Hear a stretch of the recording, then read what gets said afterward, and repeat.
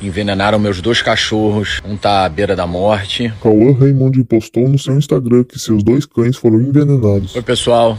Tudo bem? Acabei de chegar do trabalho. Fui chamado mais cedo. Envenenaram meus dois cachorros. Um tá à beira da morte. O outro também tá muito mal. Provavelmente um envenenamento com carne com chumbinho. É...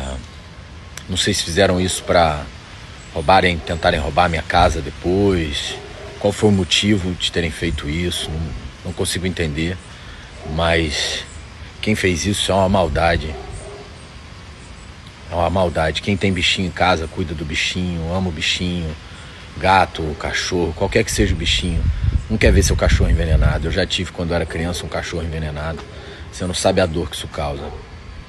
Não desejo nada de mal para ninguém. Mas eu tô muito triste porque eu, eu divido aqui a minha rotina, o Romeu, a Shakira. Eu trago ele para vocês e